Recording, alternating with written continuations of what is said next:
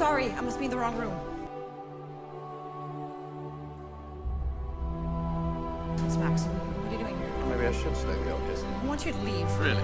Definitely. Interesting. Really? Definitely. Why? But to start with, women don't usually talk to me like that. But you need me.